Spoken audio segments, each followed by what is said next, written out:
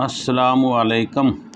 کروڑوں درود بحضور سرور کونین نبی مکرم۔ حضرت محمد مصطفیٰ صلی اللہ علیہ وآلہ وسلم اور ان کی آل پر۔ میں ہوں محمد فاروق جرال اور آپ دیکھ رہے ہیں میرا یوٹیوب چینل صفا مربع میں امید کرتا ہوں کہ آپ جہاں کہیں بھی ہوں گے اپنے اہل خانہ کے ساتھ۔ صحت اور ایمان کی بہترین حالت سے لطف اندوز ہے، ہو رہے ہوں گے۔ میرے اس چینل صفا مربع پہ روزانہ کی بنیاد پر اسلامی اخلاقی سٹوریز، اسلامی منفرد معلومات اور اسلامی واقعات کو اپلوڈ کیا جاتا ہے تاکہ ہر معاشرتی فرد کی معلومات میں اضافہ کیا جائے۔ اور ساتھ ساتھ ان کی اخلاقی تربیت بھی کی جائے۔ امید کرتا ہوں کہ آپ کو ہماری یہ کاوش پسند آئے گی اور آپ ہماری ویڈیوز کو لائک، شیئر اور ان پر کمنٹ بھی ضرور کریں گے۔ اور اس کے ساتھ ساتھ دوست احباب کو بھی چینل کو سبسکرائبس کرنے کی آپ دعوت دیں گے۔ اب آتے ہیں اصل موضوع کی طرف۔ آج کا ہمارا موضوع ہے مراسیوں کے گھر کوئی مہمان نہ ہو۔ بڑی خوبصورت اور بہت ہی مزاحیہ یہ کہانی ہے۔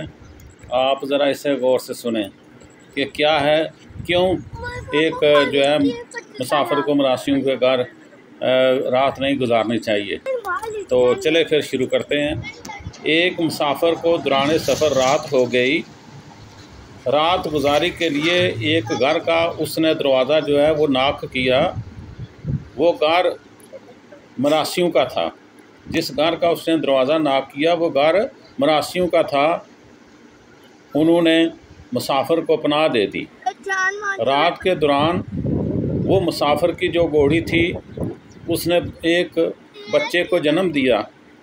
صبح جب مسافر ان کا شکریہ ادا کرنے کے لیے رخصت ہونے لگا تو مراسیوں نے عجیب کام کیا۔ انہوں نے یہ کیا کہ گھوڑی کے بچے کو انہوں نے مسافر کو نہیں دیا اور اس بچے کو انہوں نے روک لیا اور عجیب طریقے سے بولے کہ اس کو تم نہیں لے جا سکتے۔ یہ تو ہماری گائے کا بچڑا ہے۔ یعنی گھوڑی کا جو بچہ تھا نا اسے وہ کہتے ہیں یہ تو ہماری گائے کا بچڑا ہے آپ اسے ساتھ اپنے نہیں لے جا سکتے۔ مسافر بہت پریشان ہوا اور بولا او خدا کے بندو یہ گائے کا بچہ نہیں یہ تو گھوڑی کا بچہ ہے۔ بار وہ کہاں مانے؟ انہوں نے کہا کوا سفید ہوتا ہے۔ وہ نہیں مانے نہیں مانے۔ گاؤں والوں نے بھی مسافر کو اکیلا جان کا مراسیوں کی سائڈ لے لی۔ وہ جتنے گاؤں والے تھے وہ سب مراسیوں کی سائڈ انہوں نے لے لی۔ آخر کار فیصلہ گاؤں کے جو بڑے چودھری صاحب تھے، ان کے پاس پہنچا۔ چودھری صاحب نے بھی سوچا کہ مسافر تو چلا جائے گا، لیکن مراسیوں نے تو میرا سدا کام آنا ہے۔ یعنی یہ مسافر تو اجنبی ہے، یہ چلا ہی جائے گا۔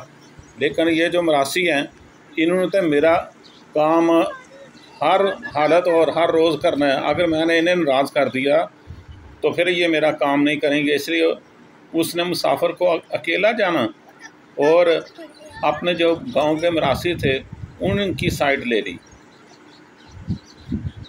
لیکن مراسیوں نے میرا سدا کام آنا ہے۔ سو انہوں نے گہری سوچ میں سے چونکتے ہوئے ارشاد فرمایا۔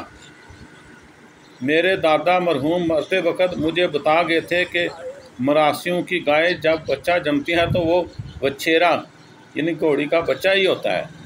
یعنی وہ جو چودھری تھا، اس نے اپنے دادا کے نام پہ لگا دیا کہ میرے جو دادا تھے، انہوں نے مرتے وقت مجھے یہ کہا تھا کہ یہ جو مراسی ہیں، ان کی گائے جب بھی کوئی بچہ دیتی ہے تو وہ وچھیرا ہوتا ہے۔ تو یہ انہی کا ہے۔ مسافر مایوس ہو کر فقط اپنی گھوڑی کو لے کر اپنی راہ چل پڑا۔ وہ جلدی جلدی اس نے یہ کام کیا، اس نے گھوڑی لی اور چل پڑا کہ کہیں یہ بھی نہ چھن جائے۔ اسے یہ ڈر ہو گیا کہ اس گاؤں کے آدمی اس طرح کے ہیں، یہ نہ ہو کہ یہ گھوڑی بھی میری یہ لے لیں۔ جب مسافر رخصت ہو گیا تو مریاسیوں نے رونا پیٹنا شروع کر دیا۔ سب لوگ حیران رہ گئے۔ وہ چودھری صاحب بھی حیران رہ گئے کہ آپ کیوں رو رہے ہیں؟ وہ تو چلا گیا۔ ہے چودھری نے حیرانگی سے پوچھا کہ رونے کی وجہ کیا ہے؟ مراسی نے لاجواب جواب دیا۔ اس نے جواب دیا چودھری صاحب اور روتے تو روتے اس لیے ہیں کہ تو مر گیا تو تیرے جیسا منصف کہاں سے ڈھونڈیں گے؟ چودھری صاحب جو آپ نے فیصلہ کیا ہے اگر آپ مر گئے تو ہم یہ اس طرح کا منصف جو ہے وہ کدھر سے ڈھونڈیں گے؟ ہم آپ کو نہیں رو رہے، ہم تو آپ کا جو فیصلہ جو آپ نے ہمارے حق میں کیا ہے، اس پہ رو رہے ہیں کہ اگر آپ مر گئے تو ہماری سائڈ کون لے گا؟ آج کل ہمارے معاشرے میں بھی اسی طرح ہے کہ حق سچ کو نہیں آدمی دیکھتے، جو غلط ہوتا ہے اور اسی کے وہ سائڈ لیتے ہیں۔ تو اس طرح جو ہے یہ فیصلے کیے جاتے ہیں۔ تو اس کہانی کا مطلب یہ ہے کہ کوئی بھی صورتحال ہو، جتنا مرضی کوئی قریبی اور جاننے والا ہو، لیکن حق سچ کا فیصلہ کرنا چاہیے، کیونکہ اللہ تعالیٰ فرماتے ہیں، اللہ تعالیٰ ان کے ساتھ ہیں جو حق کا فیصلہ کرتے ہیں، اور اللہ تعالیٰ حق کے فیصلے کرنے والے کو پسند کرتے ہیں۔ آمین۔ ثم آمین۔ اللہ تعالیٰ ہم سب کو اچھے کام کرنے کی تفیق دے۔ ایک بار دروشری پڑھ لیتے ہیں۔ اللہ صلی علی سیدنا و مولانا محمد وعلی آل سیدنا و مولانا محمد وبارک وسلم وسلم علیہ